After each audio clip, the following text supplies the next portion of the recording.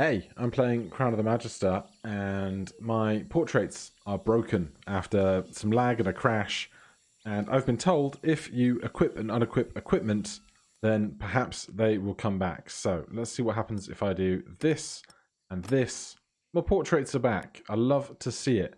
Let's take off a weapon and re-equip that. No. Clothes? Yes. All right, so there you have it, folks. If you are without portraits on your stuff, take off the clothes, re-equip them, and you get your portraits back. All right, cheers.